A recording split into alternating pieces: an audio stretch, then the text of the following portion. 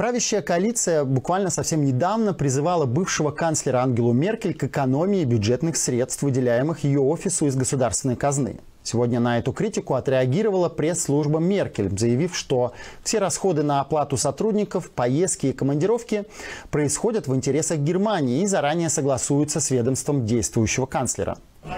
И вот журнал «Шпигель» указывает, однако, на то, что Меркель очень редко появляется где-то публично, а ее офис не публикует календаря ее поездок и встреч, ссылаясь на их конфиденциальность, что не совсем правильно. Потому что совсем недавно в случае с офисом Герхарда Шрёдера, друга Владимира Путина, суд поставил как раз, вернее, постановил как раз сообщать об этом. Напомню, что правящая коалиция пыталась отобрать офис у Герхарда Шрёдера, вменяя ему, что он злоупотребляет госфинансированием финансированием для лоббирования российских интересов. За Ангелой Меркель, как и за всеми бывшими канцлерами Германии, пожизненно закреплен небольшой офис. У Меркель он расположен неподалеку от Бранденбургских ворот. В ее пресс-службе заявили, что для работы офиса предусмотрено 9 постоянных сотрудников. А теперь поговорим о другом бывшем канцлере Герхарде Шрёдере. Он подал в суд на свою бывшую жену Дорис Шрёдер Кёпф, с которой с 2018 года находится в разводе и судится за квартиру в общем доме.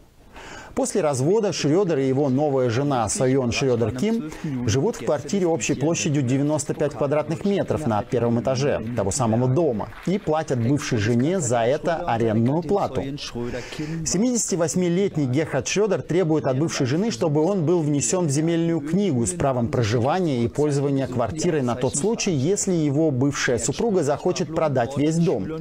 Однако суд отклонил иск бывшего канцлера.